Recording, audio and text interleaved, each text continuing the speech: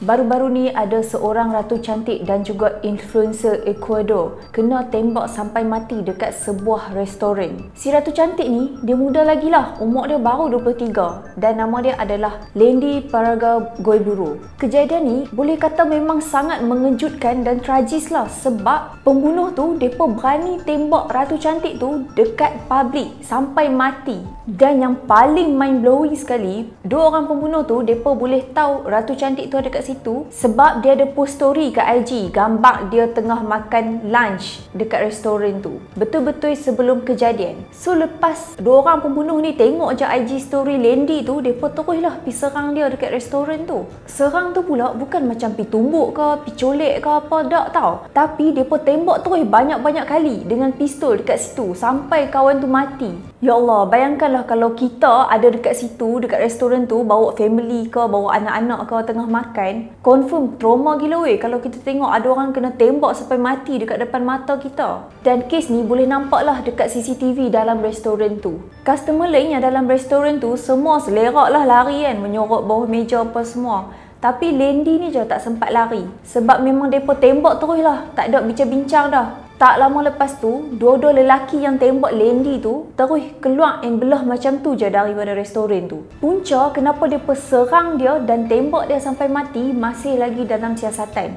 Tapi based on gosip-gosip yang viral dekat luar sana, depa shock yang mungkin pembunuhan ni dirancang oleh wife toke dadah yang berdendam dengan ratu cantik tu. Tapi kes ni masih lagi dalam siasatan lah dan belum ada apa-apa official statement lagi pasal motif sebenar pembunuhan tu. Tokan tu nama dia Leandro Noreiro tapi dia dah meninggal dunia pada tahun 2022 sebab rusuhan dalam penjara. Dan dalam berita ada cakap yang Tokan ni dia pernah cerita dekat geng dia kalau wife dia dapat tahu apa-apa pasal skandal dia yang Ratu Cantik tu habislah dia. So rahsia pasal dia dengan skandal dia ni tak boleh bocor nak kat mana-mana. Kalau tak musnahlah hidup dia. So dia berdua ni mula ada skandal lepas Ratu Cantik tu menang tempat kelima dalam pertandingan Miss Ecuador 2022 So token tu kan banyak duit. So of course lah dia bagi macam-macam barang mewah dekat Lendi Skandal muda dia tu. Lepas tu macam biasalah netizen kat sana pun macam netizen kita juga. Ha, Laju je buat kerja Kalah wartawan. Dia pun korek-korek lah dekat social media pasal wife token tu. Ha, Nama Lina Romero. Sama ada betul tak? Dia lah dalang sebenar di sebalik pembunuhan ni. Sebab dulu pun wife token ni pernah ada isu untuk cuba merasuah hakim Pendakwa raya dan juga pegawai tinggi. So tak pelik lah kalau wife token tu yang rancang semua ni sebab dia memang berdendam dengan Ratu Cantik tu.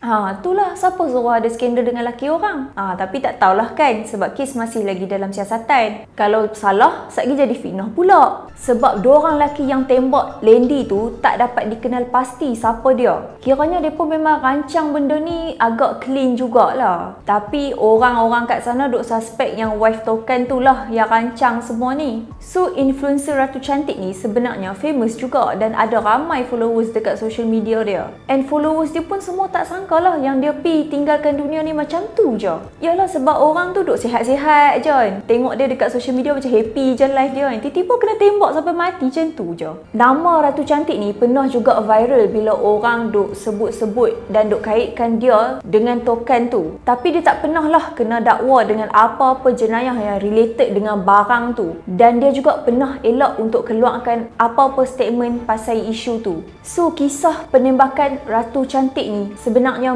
membuktikan betapa bahayanya bila kita terlalu expose pasal life kita dalam social media. Sebab kita takkan pernah tahu bahaya apa yang tengah tunggu dekat depan kita dan siapa sebenarnya yang tak puas hati dengan kita. Malang tak berbau kan? So, ramailah juga kenalan dan juga peminat dia yang sedih dengan kes ni. Dan mereka pun masih mengharapkan keadilan kepada mangsa. Dan benda ni juga bagi efek effect pasal keselamatan peribadi orang lain dalam social media tu.